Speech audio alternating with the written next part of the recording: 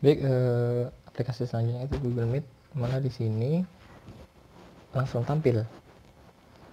Nah lebih simple sebenarnya Bapak Ibu. Ketika kita buka via Android Google akun kita sudah terhubung. Kita bisa buat new meet new meeting. Kita coba